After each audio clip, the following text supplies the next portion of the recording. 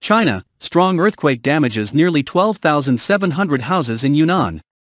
According to the China Earthquake Network Center, the 5.1 magnitude quake struck at 24.34 degrees north latitude and 101.91 degrees east longitude with its foot center at a depth of 8 kilometers.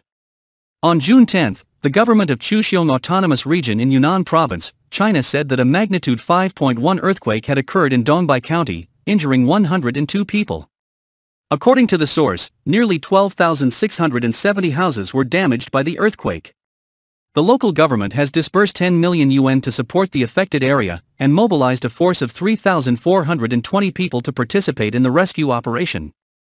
According to the China Earthquake Network Center, the earthquake occurred at 24.34 degrees north latitude and 101.91 degrees east longitude with the epicenter at a depth of 8 kilometers. Also according to the center, another earthquake with a magnitude of 5.3 occurred on the morning of June 11, local time, in Hualien City, east of Taiwan, China.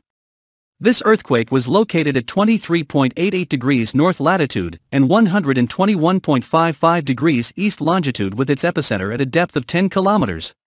Also on June 11, the U.S. Geological Survey said a 5.1 magnitude earthquake shook an area 54 kilometers northeast of the Papua New Guinea town of Kainantu.